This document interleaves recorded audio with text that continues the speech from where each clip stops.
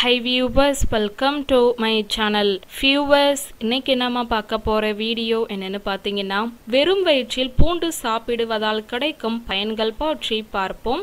தினமும் ஒரு பச்சை பூண்டை வெறும் வயிற்றில் காலையில் சாப்பிட்டு வந்தால் உடலில் உள்ள நச்சுக்கள் அனைத்தும் வெளியேறி புழுக்களும் வெளியேறி விடும். மேலும் அது இரத்த அழுத்தத்திற்கான அறிகுறிகளில் இருந்து நிவாரணம் தருவதாக ஆய்வுகளில் கண்டறியப்பட்டுள்ளது.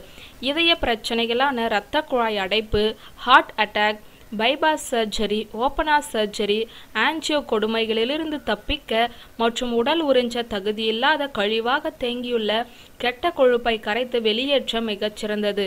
பூண்டில் இருக்கும் ஒரு இயற்கை அமிலம் ஒப்பற்ற மருத்துவ குணம் உடையது சமைத்தால் அதன் இயல்பு தன்மை வெகுவாக பாதிக்கப்படும். இயற்கையாகவே சமைத்து கெடாத பூண்டு துண்டுகளை நன்கு கடித்து உமிழ்நீரில் செரிமானம் செய்தாலே பூண்டை உணவாகவும் மருந்தாகவும் பயன்படுத்தும் சரியான முறையாகும்.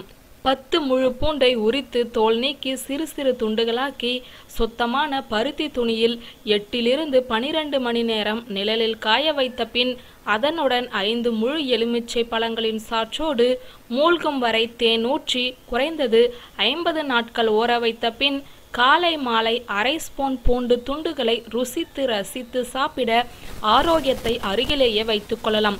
பச்சை பூண்டு மன அழுத்தத்தையும் கட்டுப்படுத்த உதவும். எனவே அலுவலகத்தில் அதிக வேலைப்பளு இருப்பவர்கள் தினமும் பச்சை பூண்டை வெறும் வயிற்றில் சாப்பிட்டு வருவது நல்லது. ஃபியூவர்ஸ் இந்த வீடியோ உங்களுக்கு பிடித்திருந்தால் லைக் கமெண்ட் ஷேர் பண்ணுங்க. Thank you